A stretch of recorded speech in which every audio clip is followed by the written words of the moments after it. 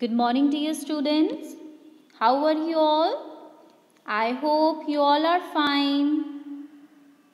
Dear students, today we are going to start a new chapter from your Sunbeams English Literature book.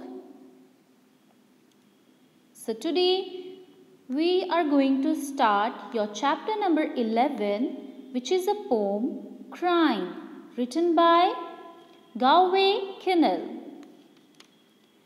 About the poet his full name was Galway Mills Kinnell. He was born on February 1st, 1927 and died in October 28, 2014. He was an American poet. He won the Pulitzer Prize for Poetry for his 1982 collection. From 1989 to 1993, he was Poet Laureate for the state of Vermont.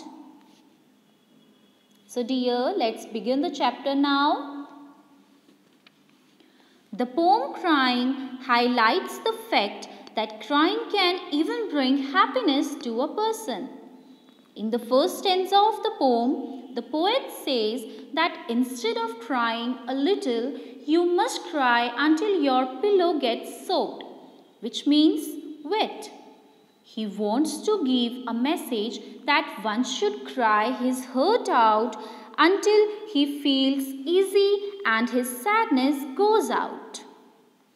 And once your hurt is empty with the feeling of sadness, then you can take a shower which will relax your mind and body and makes you feel lighter and happy.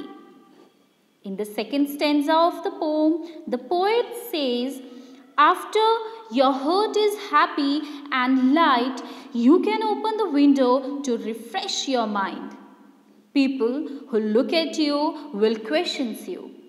Then you will just simply smile and will say that sadness was there in the heart till the last tear which you just got wiped up.